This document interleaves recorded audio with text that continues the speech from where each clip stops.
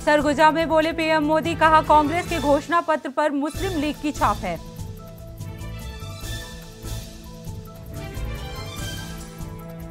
PM ने सरगुजा में महारैली को किया संबोधित, कहा कांग्रेस संविधान बदलकर एससी, एसटी, ओबीसी का हक अपने वोट बैंक को देना चाहती है।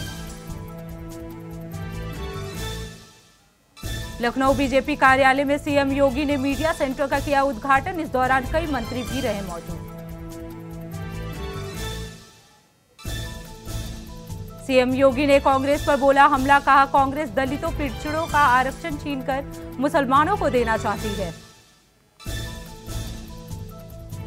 आपदा प्रतिरोधी बुनियादी ढांचे पर अंतर्राष्ट्रीय सम्मेलन 2024 को पीएम मोदी ने किया संबोधित, कहा पिछले कुछ वर्षों में सीडीआरआई की वृद्धि प्रभावशाली रही है।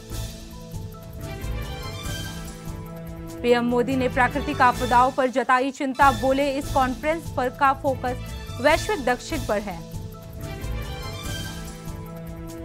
सैम पित्रोदा के विरासत टैक्स वाले बयान से कांग्रेस ने किया किनारा। जयराम बोले, ये पार्टी का विचार नहीं।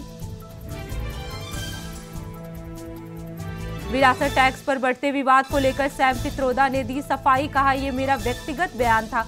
कौन कह रहा है कि ऐसा भारत में हो? पीएम मोदी का बड़ा बयान, कहा, इंडिया गठबंधन को दिया आपका वोट, केंद्र में सरकार नहीं बना सकता। बीजेपी को दिया आपका वोट, विकसित भारत बनाएगा।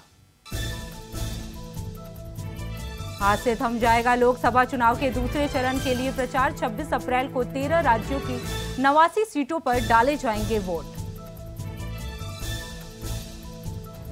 बीजेपी नेता सीपी जोशी ने दिया विवादित बयान, कहा, बाबर का बच्चा बच्चा जय श्री राम बोलेगा।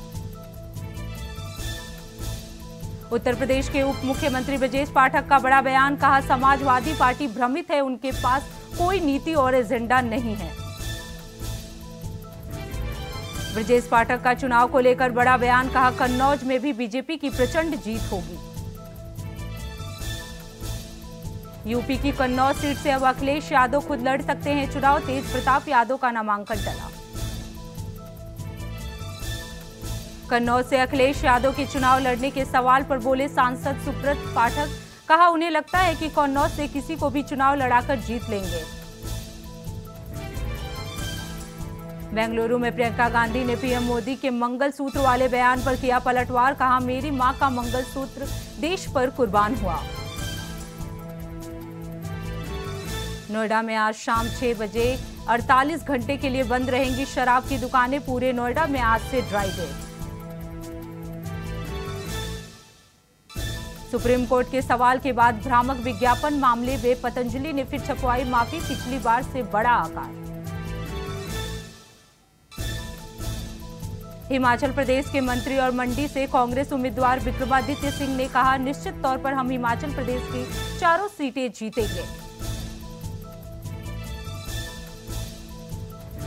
भारत निर्वाचन आयोग ने मतदाताओं, कार्यकर्ताओं को धमकाने को लेकर टीएमसी विधायक को दी कारण बताओ नोटिस। आचार संहिता का उल्लंघन करने के लिए विधायक हमीदुल रहमान को जारी किया गया नोटिस।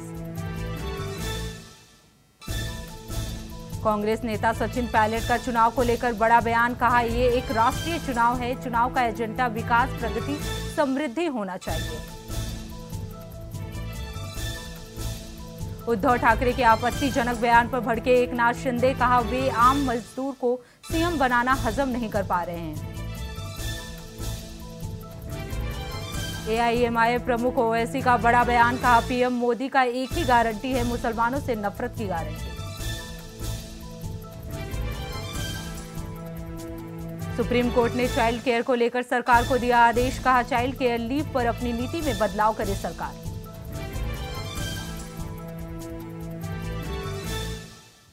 गंगा प्रदूषण मामले में एनजीटी सख्त पानी खराब करने में कई शहरों का योगदान।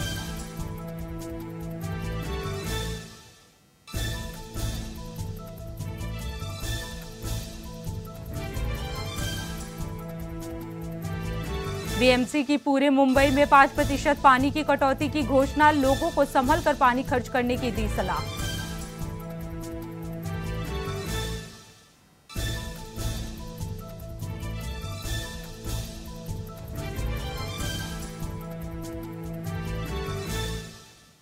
मौसम विभाग ने उत्तर प्रदेश के 32 जिलों में लू चलने की दी चेतावनी, लू के साथ चलेगी धूल भरी हवाएँ।